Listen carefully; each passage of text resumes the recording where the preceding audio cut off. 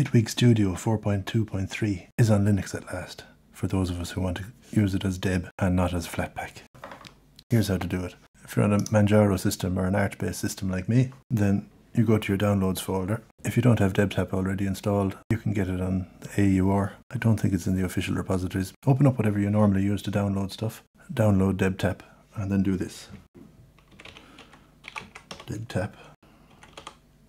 Bitwig Studio 4.3 beta 3.deb. Hit return.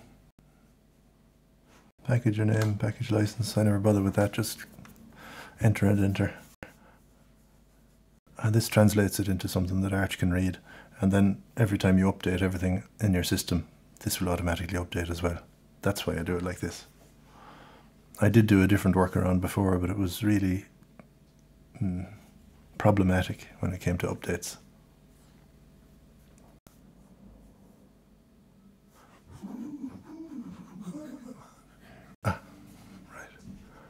So, go ahead, enter.